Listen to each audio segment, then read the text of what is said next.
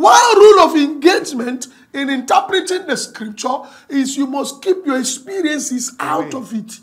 No matter what you have gone through in life, no matter what you are still going through in life and how you come out of it, if it has to do with the scripture interpretation, keep it one corner. Yes, sir. Don't subject the Bible to your experiences, but subject your experiences to the Bible. You will see where people make the mistake of trying to adjust Bible to suit their experiences. Ah.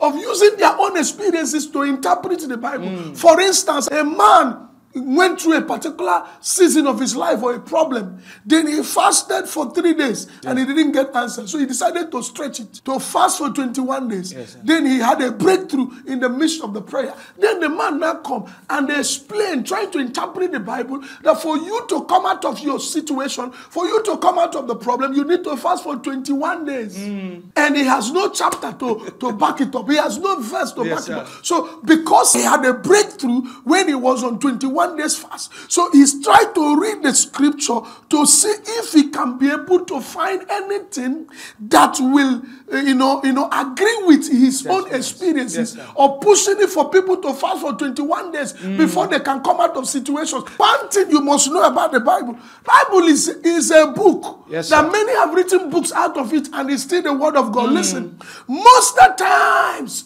when you want to adjust the Bible to suit what you want to say, Bible may seem to suit what you are saying. Yes, sir. Yes, Mark sir. my word. Yes, sir. It may seem, it may look may- like yes, sir. it's in agreement With what you're saying. with what you're saying. Sometimes, even if you want to use the word of God and divorce your wife and marry another person's wife, you may find Bible for you Mm. Yes, in sir. your own interpretation Yes, that may be supporting you. Yes, sir. Leave your experiences out of it. Is, th- is it good to fast and pray? Yes, Yes, sir.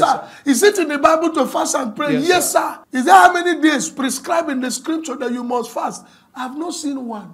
People fast one day Yes, sir. and they get results. Jesus said, This can go with not except by praying and fasting. It's clear that we fast. There's no revelation that can remove fasting and prayer. But what we're saying, somebody say, okay, if you want to have breakthrough in the spirit, pray, pray by 12 mm. in the midnight. Mm. And because you prayed by 12 in the midnight and you have breakthrough, sir, let me let me tell you something. 12 in the midnight here is not 12 in the midnight in America. Yes, sir. Somebody said, pray, you must pray 3 a.m. You must pray 12 in the midnight. That's when witches move. We don't pray because witches are moving. Because there's no time witches are not moving. Yes, sir. The victory we have in Christ, whether they like, let them move by 12 or move in the night. It doesn't matter. Yeah. And let me tell you, there's no human being on earth that maintains a particular time every day without breaking it. Because one day you'll be traveling while you're on board. Ah. The 12 in your midnight where you're coming Ah, from. Yes, sir.